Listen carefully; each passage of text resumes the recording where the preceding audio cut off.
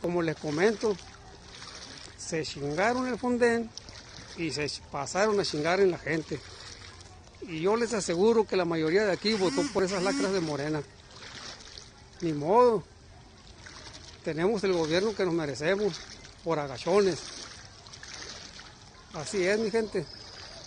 Desde Empalme, Sonora, Colonia Bellavista. Una inundación más, pero ahora no va a haber ayuda del gobierno federal porque no hay con qué. Ustedes lo saben muy bien. No tienen con qué ayudar a la gente. Primero está el tren Maya y sus demás pendejadas. Pobre gente.